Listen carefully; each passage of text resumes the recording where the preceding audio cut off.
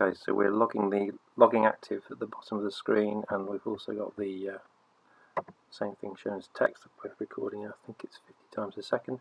Uh, logging's off at the moment, so if we want to log with the engine stopped, we have to first of all set the stop engine speed to zero, and then the start engine speed to zero. So change that to zero, escape.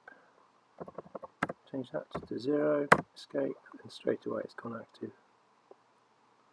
just leave that logging for a few seconds. If we want to reverse that, we have to turn off um, active logging by, um, first of all, reverting the start engine speed to 300 and then going to the stop engine speed back to 100.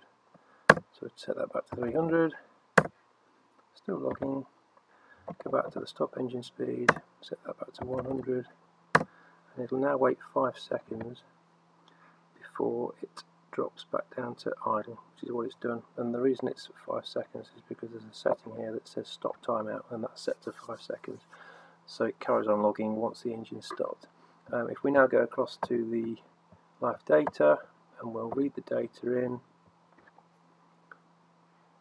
Okay. And then F10.